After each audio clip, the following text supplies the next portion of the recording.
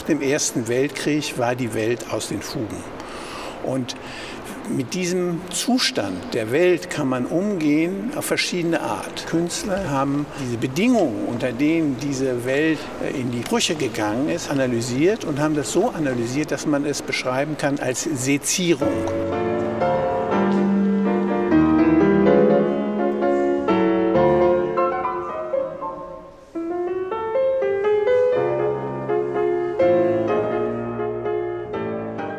Begannen zu beschreiben, was sie sahen.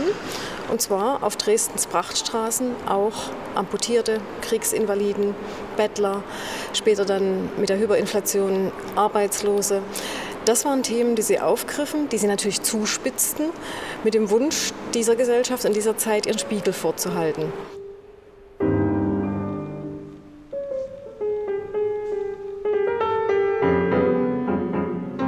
Der Hauptsaal der Ausstellung ist den bekanntesten Künstlern Otto Dix und George Gross gewidmet, die auch am Anfang der Bewegung standen.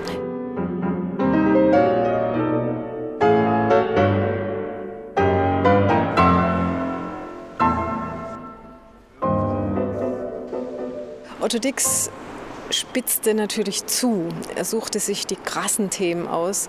Er suchte sich die krassen Charaktere, die krassen Typen aus. Und in einem Bild wie den drei Weibern ähm, spitzt er natürlich so weit zu, dass es Protest hervorrufen musste und bis heute provoziert.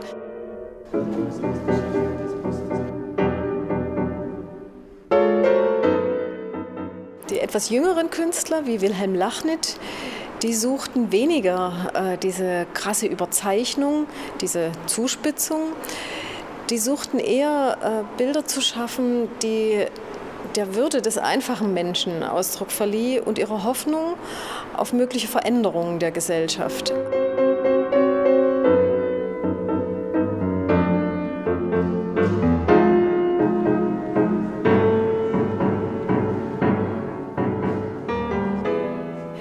In den Kabinetten kann man zahlreiche Entdeckungen machen. Es sind viele Künstler ausgestellt, von denen selbst die Kenner der Dresdner Kunst noch nicht gehört haben. Es sind sehr verschiedene Positionen, vom eleganten Damenbildnis über das fein gemalte Stillleben bis hin zu Landschaften, die einen magischen Hintersinn verbergen.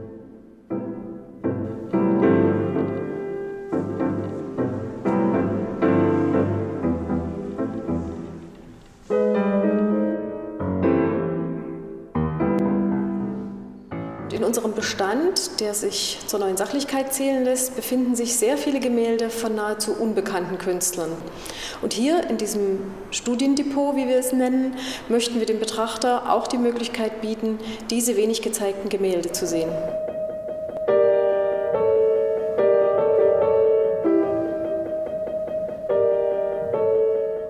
Das, was wir heute eröffnen, die neue Sachlichkeit, Otto Dix, die wichtigen Maler der 20er Jahre, das ist etwas, das scheint bis in die heutige Zeit hinein. Auch damals bestanden Probleme der Ausrichtung, auch zum Ende finanzwirtschaftlicher Ausrichtung. Und ich denke, damals haben die Künstler sich sehr stark am Gesellschaftsleben beteiligt, haben deutlich ihre Meinung gesagt, haben Konfrontationen ausgelöst, wie wir aus den nachfolgenden Jahrzehnten wissen. Und ich denke, das ist ein gutes Beispiel für die heutige Zeit. Dresden hat einen ganz bedeutenden, vielleicht den bedeutendsten Beitrag zur neuen Sachlichkeit in der Kunst der 20er Jahre in Deutschland geleistet. Plötzlich taucht jetzt in diesem Moment die realistische Malerei aus Dresden aus den 20er Jahren wieder auf und trifft uns. Die Leute, die durch die Ausstellung gehen, die sind alle wirklich betroffen.